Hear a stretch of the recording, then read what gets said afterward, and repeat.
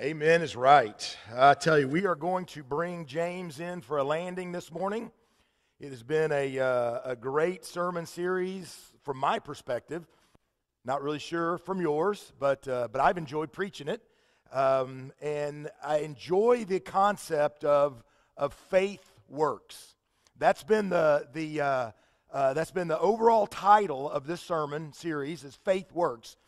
And James plays that out all throughout his all throughout this uh, letter that he's writing, uh, he's letting us know that, that faith is something that works. It means two, a couple of different things. When I, when I say faith works, obviously, faith shows up. Faith is not just something that we say that we have.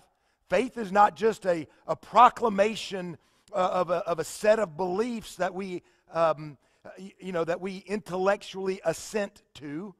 Faith is the outworking of, of the beliefs that we say we have. Faith is, it shows up and can be seen by people on the outside. You know, too much of, uh, of, of our relationship with, with God is thought of as this, and I'm going to use the air bunnies, personal relationship.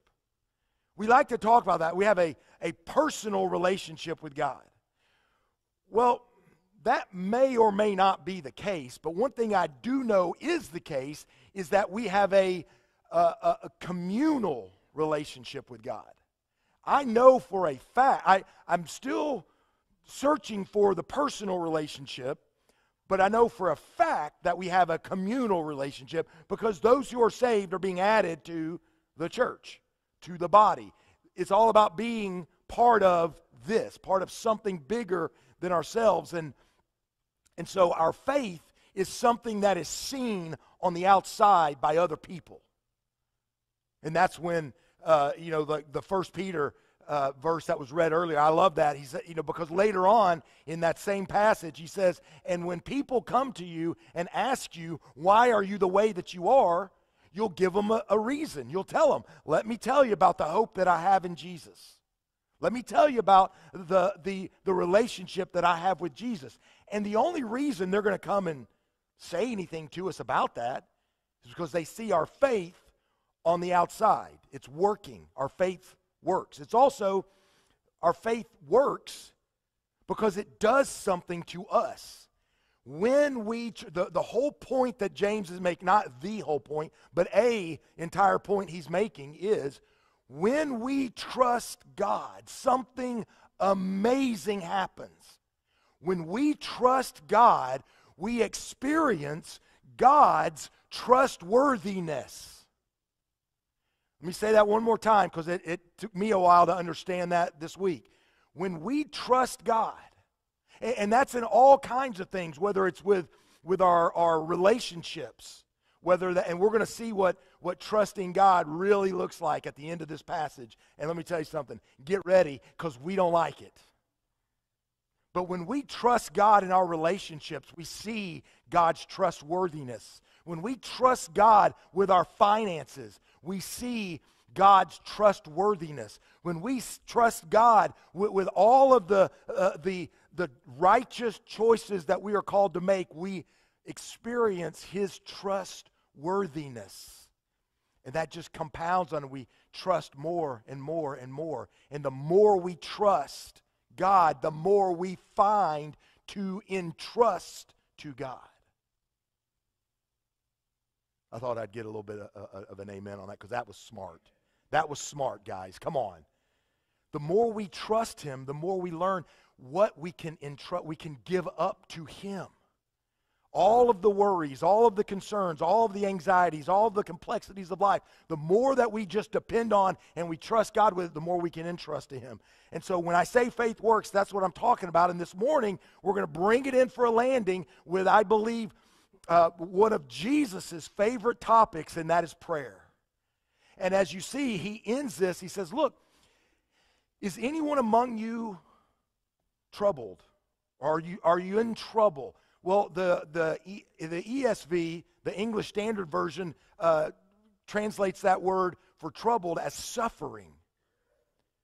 Is anyone suffering? He says, let them pray. Now, I love that. I love the language that there, the, the way the English translates, and it says, Is anyone suffering? Let them pray. So he's talking to the rest of us as though we're not suffering. And he says, So is, is that person over there suffering? Let them pray.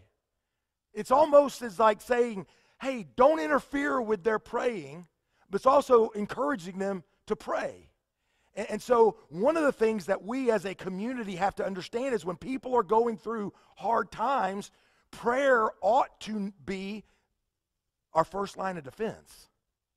Prayer is not this thing that we that we wait until everything else is exhausted and then we just pray. One of the uh, you know you you understand the the relationship that our culture has with uh, with God through certain phrases that come along in everyday life.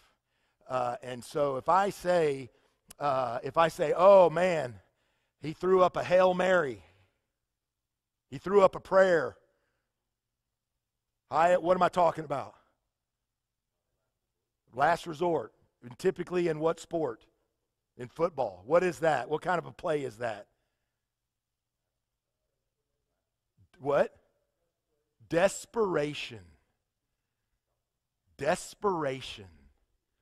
I mean, the Hail Mary, the throw up a prayer, is like, all right, everybody go deep. And I'm just going to throw it up and hope something good happens.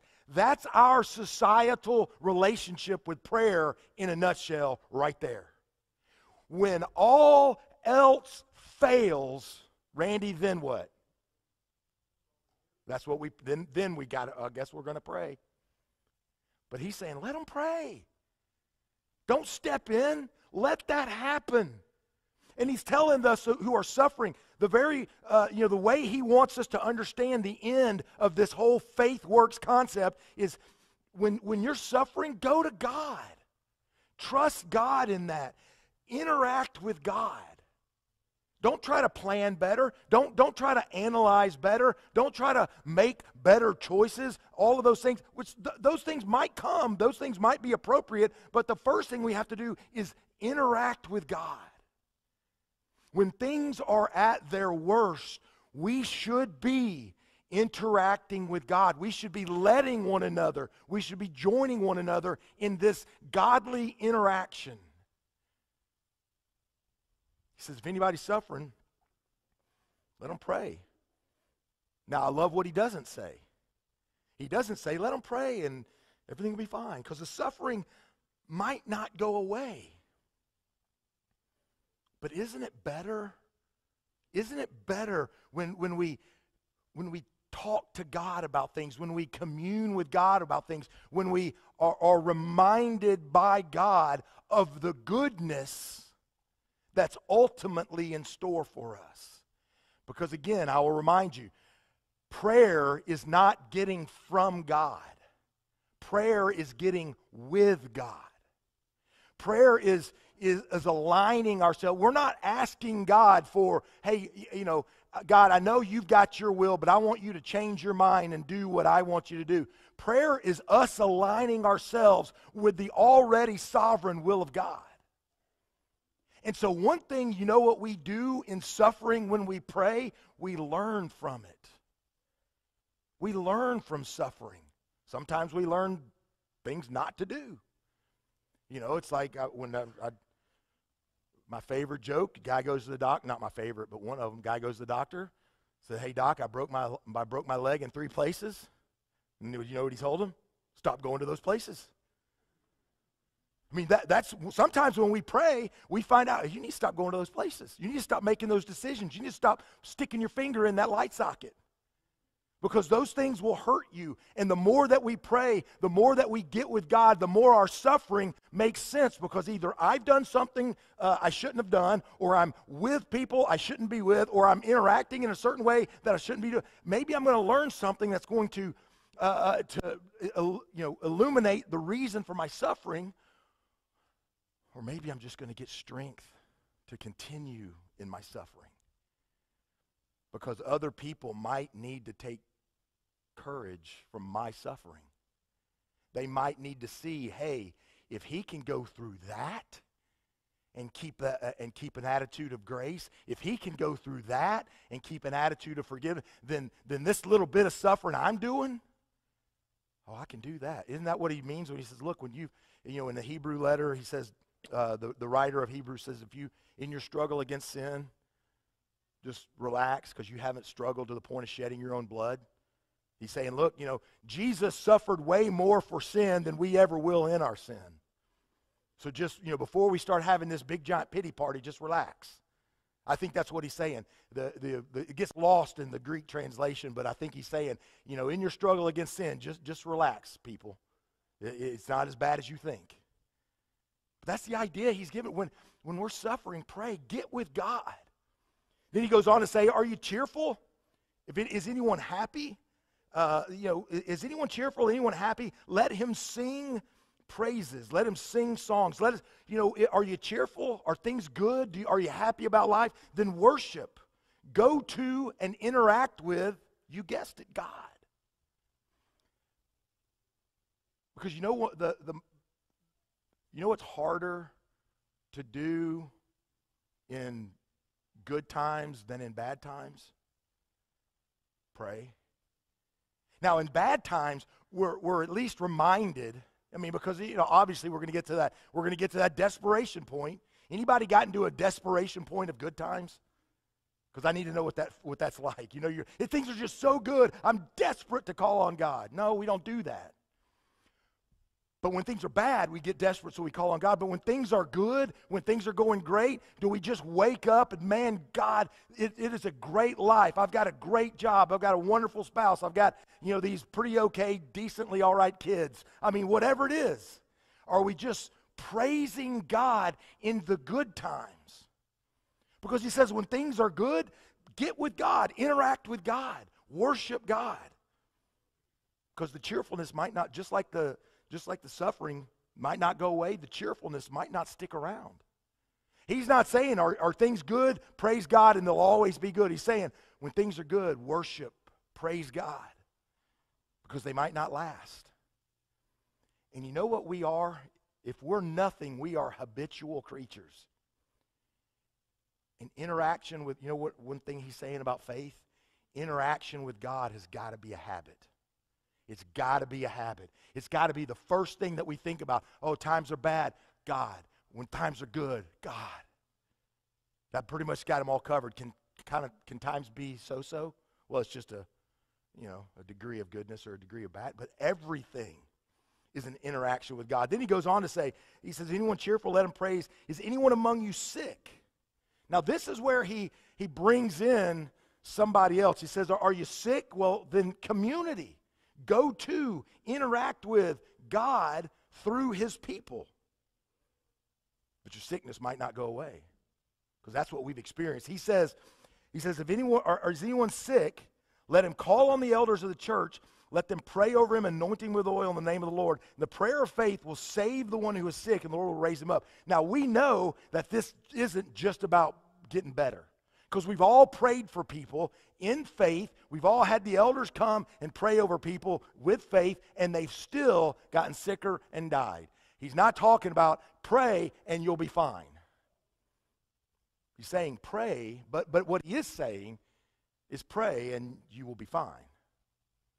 Spiritually. Because what he's, all of this is getting our attention away from what we're physically going through and getting us in touch with what God is able to do in our life, what God is able to do through us. And that's how we endure. That's how we go on. Because we have this living hope. We have this imagery right here that we live every day under, knowing that, that having faith that moves us, that transforms us, that, that actually works, it, it, because of this, because of the reality that we know for a, for a fact, it, it does transform us. It does move us beyond the physical. And that's so important for us to, to, to grasp and to latch onto. And that's why he brings up Elijah right here.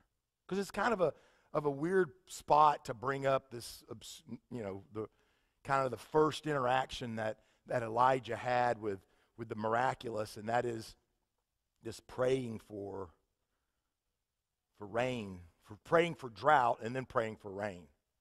And he, so he goes, he says, Look, Elijah is a human just like you and just like me. I love the fact that he, he takes the time to, to bring up the humanity of this person and then says, just like me and you. He's a human just like me and you. So this can work for me and for you just like it did for him. He said, Elijah prayed and there was no rain for three years. Then he prayed again and it rained. Now, that wasn't Elijah's idea. If you go back to, to the Old Testament where, where that story's found, it wasn't Elijah. Elijah didn't just say, you know what, I'm, uh, I got this idea I'm just going to, I'm going to wreak havoc on, on these people. It was God's will, it was God's leading that made him do that, that he got in concert with God and prayed this prayer, and that's what happened. And he's saying, if prayer can change the physical world, it certainly can affect the spiritual world. Let me, let me elaborate. Remember when Jesus said, Is it easier to forgive sin or tell someone who's lame to pick up their mat and walk? Now, you think about that. Now, the answer that, that we know is, well, it's, it's, it's harder to forgive sin because we can't, you know, we can't do that. Well, the whole point he's making is that only God can do either one of those. O- only God is, is powerful enough to do either one of those. And so, if God can change the physical world that we all can see and interact with, why do we think that he can't the spiritual world? And that's when he brings forgiveness into this. Because one of the things that he knows is that there are barriers between us and God that hinder our interaction. There's a big, giant barrier that hinders our interaction with God because we're typically wanting to avoid Him. I mean, think about if you've done something to somebody and they know it, they know what you did and they know it was you, how comfortable are you in their presence, looking them in the eye? Not, not very. You're not, not very comfortable showing up and interacting with them. And so, one of the things that James is bringing to our attention is that there is this big, fat barrier between us and the life, the faith work life that we need to have. And it's our sin. It's our sin. And that's why he says, look, it, it, you know, pray and you'll be forgiven you will be forgiven. There is forgiveness in this relationship with God. And he says, Look, you know, pray with one another, confess your sins to each other. Now, if we were having a, a prayer night, and we said, okay, we went around the room and we got everybody's schedules and we made a, we had a, a, a, prayer night where everybody, we, the, the planets aligned and everybody was free and nobody had any, uh, any uh, um, prior engagements or commitments or whatever. And we knew that everyone was available on this night and we had a prayer night. We would have a lot of people show up to pray. Leslie, you agree? In our con- we, we would have, not everybody, I mean, you know, because not everybody, but we would have a lot of people show up to pray. Now, if we had that same situation where nobody had any conflicting arrangements at all, whatever, and we were going to have a confession night, even fewer. I mean, we're going to get together and we're going to confess to one another. I mean, we're going to just hear it all. We're going to just get down and dirty in the weeds and just tell everybody, each other, ourselves, all our, all our sin. Nah. I mean, we could have the most amazing potluck catered for that night, and there'd still be no one here.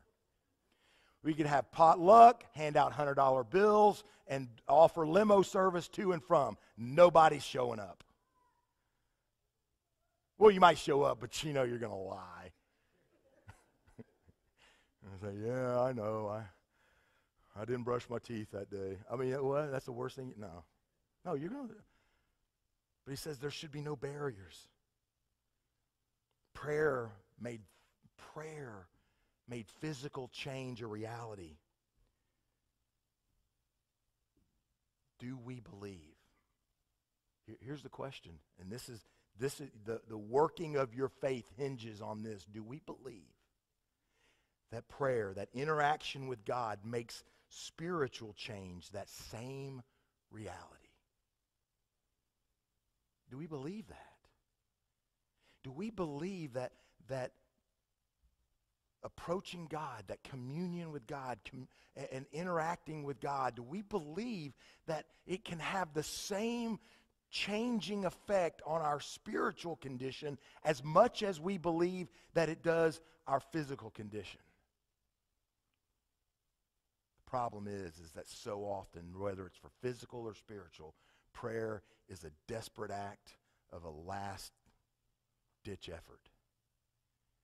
And what he's calling on, he's saying, look, if we're going to be people of faith, if we're going to have working faith, faith that shows up, faith that, that when, we, uh, when we see someone in need, we just offer them help. We have faith that when, when a rich person and a poor person come into our assembly, we treat them all the same. If we're going to have faith that, that's going to be uh, joyous in, in all circumstances when we find ourselves in, in suffering or, or in, in happy times, if we have that kind of faith, it's going to show up.